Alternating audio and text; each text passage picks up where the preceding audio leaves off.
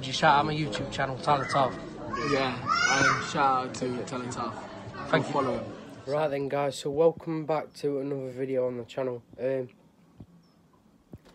yesterday I did a video to say that Jayden Bogle and Max Lowe are li linked Sheffield United. Um, and the, it's still going on.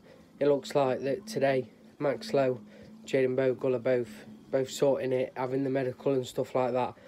Um, but apparently the fee is 15 million, not 10 million. So I would be happy with 15 million for the pair of them.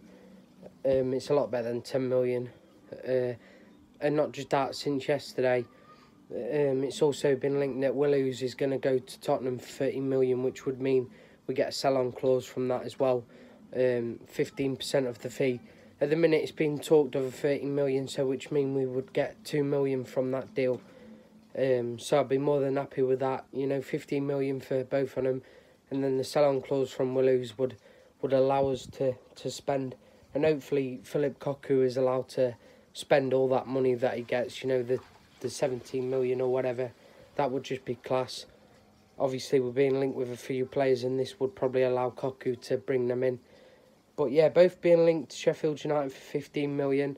Apparently gone for the medical today, so we'll see what happens. But I would be happy with 15 million. Um, and uh, yeah, I just wanted to do an update on that really.